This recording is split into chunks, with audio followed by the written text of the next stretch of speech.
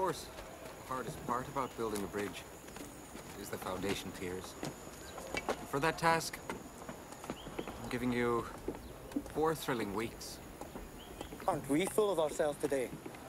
I think it's because of the lion. Uh, John, You know, I also have killed a lion. how many shots did you need? I used my hands.